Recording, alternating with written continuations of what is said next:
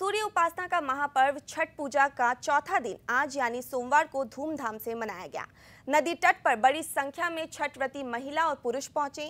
व्रतियों ने सोमवार की सुबह सूर्य को अर्घ दिया। हमारी संवाददाता अनामिका गिरी ने इस दौरान घाट पर हो रही छठ पूजा का जायजा किया और लोगों से बातचीत की। देखिए अनामिका गिरी की यह रिपोर्ट। इस वक्त मैं यहाँ वशिष्ठ मुनि के आश्रम में उपस्थित हूँ, जहाँ पे हज़ारों की संख्या में छठ व्रतधारी उपस्थित हुए हैं और आज छठ व्रत का समापन होने वाला है और उनकी मनोकामनाएँ पूरी होने वाली है। हज़ारों की संख्या में व्रतधारी आज अपने उगते हुए सूरज को अर्घ देकर इस व्रत का समापन करेंगे। इसी के साथ छठ पर्व का समापन हो जाएगा और प्रसाद वितरण शुरू हो जाएगा। यहाँ पे उत्तर भारत के सभी लोगों के लोग आते हैं और सुबह के टाइम में प्रसाद वितरण होता है, सभी चाहते हैं कि छठी मैया का प्रसाद और आशीर्वाद उन पे बना रहे। बने रहिए मेरे साथ